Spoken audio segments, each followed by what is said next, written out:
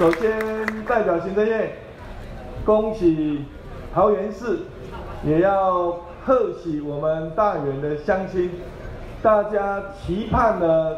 十年之久的天空断桥，今天正式啊啊开工动土。一开始我还不知道天空断桥的意义是什么，那郑文灿市长一五一十的跟我说明。他说：“大园这个地方，它是西滨啊这个工业区必经的枢纽，同时呢，也是进入桃园机场的交通要道。未来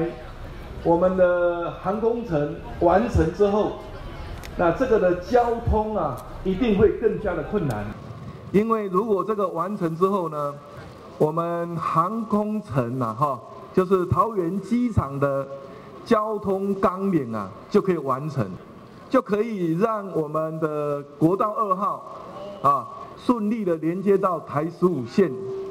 那这样的话呢，变成三横三纵就可能了。那这样的话呢，不仅仅解决大园市本身的交通问题，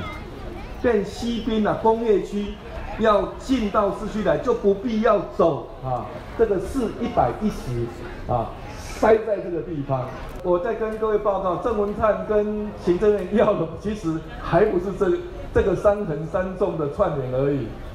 他又要了一个一个小时的轨道生活圈呐，轨道建设。他希望呢，北北桃啊，台北市、新北市跟桃园。能够用轨道一个小时之内能够串联成功。那行政院呢，在这边再次哈跟大家重申，第一个呢，我们的啊捷运中线啊，交通部哈已经通过可行性评估报告，那行政院呢也已经核定啊，跟大家报告这个好消息。那第二个呢，捷运的绿线，二零二四年的时候呢会。分阶段哈来完工啊就可以启用，啊比较特别的是会延长哈绿线会延长到中立这边来啊，跟我们的桃机啊这个机捷机场捷运